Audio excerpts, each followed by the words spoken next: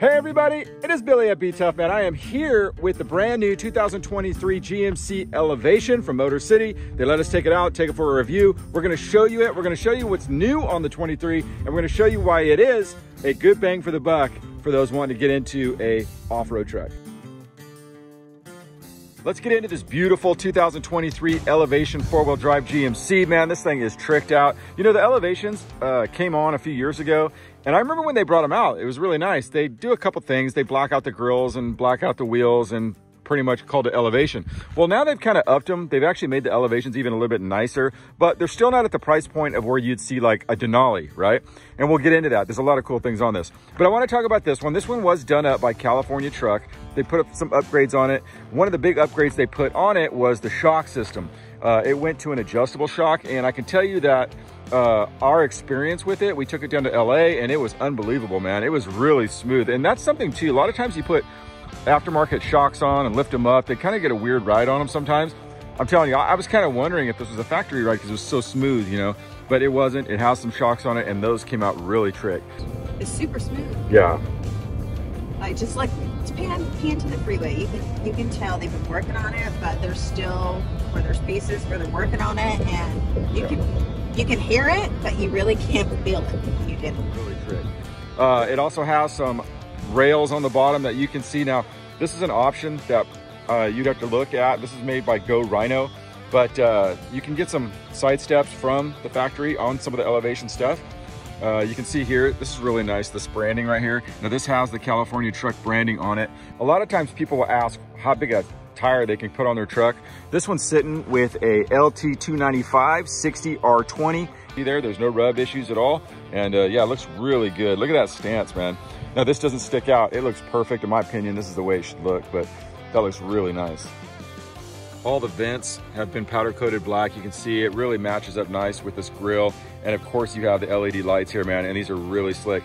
One thing nice about these lights too is they have an automatic uh, high beam and you don't have to worry about turning it off, you know, on oncoming traffic. It'll, it'll automatically take care of it. And it's amazing because it can spot it from a long distance. You'd be surprised on how far away that it can spot it. Man, the back of this truck looks really trick. Of course, got the elevation logo there all blacked out and that looked nice, man. That's so good. Uh, it does have a bunch of cameras all the way around. You got a couple here in the back. You have a bunch on the side and it gives you uh, a video image that looks like a drone's above your truck, right? So you can kind of see what's going on around you. It's really neat technology. Uh, the breakaway tailgate, of course, that's a hit with the GMCs. Really easy to do. You do it with one hand, right? Comes down on its own. Push the button again right here. That comes down. And then, of course, you push that and that will break away free. Put it back together. Super easy. One hand comes up. Boom. There. Didn't need both my hands on that. Isn't that nice?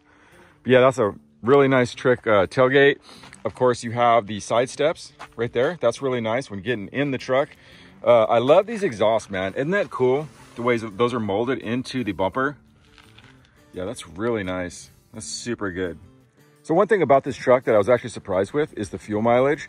Um, of course, we'll open this up. It does not have a cap. You just simply put it in there.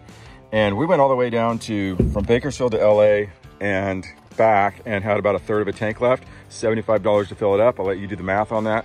But that's pretty good, especially compared to my diesel, which costs a lot more to fill up. you know what I mean? So that was actually pretty good. I was surprised. And it has a lot of get up and go, man. I, I was surprised how powerful this is. It has a V8 in there, but man, is it powerful. All right, so let's get in here. I want to show you the inside. Oh, this is nice too. This is all these white handles. Isn't that nice? So I want to show you this. It's really cool. So here's the interior. They did a really nice job on the design of this. Of course, it's gonna be like most of the 2023 GMC trucks, really nice.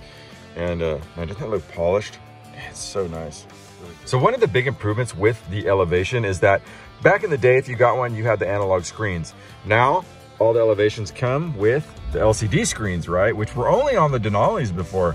So that's a huge upgrade, man, if you're getting an Elevation truck, right? So you're getting a little bit of a discount, but you're also getting this really nice LCD screen. Also too, man, the talk of the town is this beautiful super HD screen.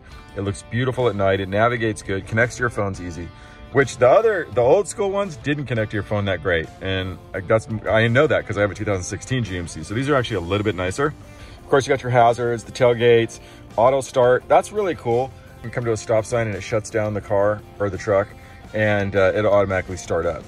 So that's really nice technology. You got your lane departure here. That's really nice. And I, I just like how streamlined everything is now, right? And not only that, but it feels like the visibility is like better because it doesn't like, the old dashes used to be pretty high. And now, do you notice that, that they're a little bit lower, right? If you look at it, like you got this no, this concave here, right? Which kind of maps out the wheel, but then it's like just flat all the way through. Isn't that cool? I love the way that looks. And then it's not just this one piece deal, it's all broken up. So it's, yeah, it looks like a multiple piece thing put together. It's um, nice. This is all streamlined. It's a new design for 23. Uh, it's really nice. It's out of the way. Um, it looks a little bit more sleeker than the stuff they had in the past. You do have two USB ports here. You have USB 3 and USB-C. That's really nice. Now, this doesn't have the center console. It has a flip down, but if you have an extra person that you have to take around, it actually works pretty good because you can put three people in the front. All of the controls are set over here for parking. You have your four-wheel drive high, lows, and all that stuff. You got some rear lights that go into the back. That's really nice. And here's where you can set all of your headlights and all that good stuff. So as always, GM does a really good job with their instrument panels. Um, everything controlled off this little wheel knob right here. See, it, it has a clicking wheel that you go up and down. And you can ch uh, check everything. You actually check your tire pressures here, and you can actually get an adapter that will also look at the trailer. So that's pretty cool. Um, but yeah, it's uh, really nice. The fuel economy, everything, oil life, all this stuff's really good. That's pretty cool. I didn't even, I've never seen that before. Brake pad life? Okay. I didn't even know that was a thing, but I guess you can now in the GMC trucks. They did add a few inches a few years back and uh, you can see back here, not only that, but everybody has their own air now. These air vents weren't there on older models and you can see a USB-C and another USB charger input and you also have a plug. I would imagine this is a plug, yep, for household items. That works out really good. There is a storage compartment here that works out pretty good. Whatever you might want to put there, that works out really nice. And then these go up really easy. I did that with one hand. And this is a big improvement as well. And that is that they have this divider now. So things you may put here, you can put stuff here and it won't go sliding into people's foot area. So that's a really big improvement as well. You can put up one side or the other. Oh, look at that, dude. Oh, my daughter's gonna be so stoked. I found her glasses. In my opinion, the Elevation is the best bang for the buck that Motor City offers. I said it before and it still holds true today. You can take them right out of the lot and they look good, or you can upgrade them like this one that California Truck did. There's no going wrong with it. And You'll have a truck that looks really nice and you won't be at the price point of a Denali, but you'll still look good going down the road. Anyway, thanks for watching. This is our review of the 2023 Elevation at Motor City.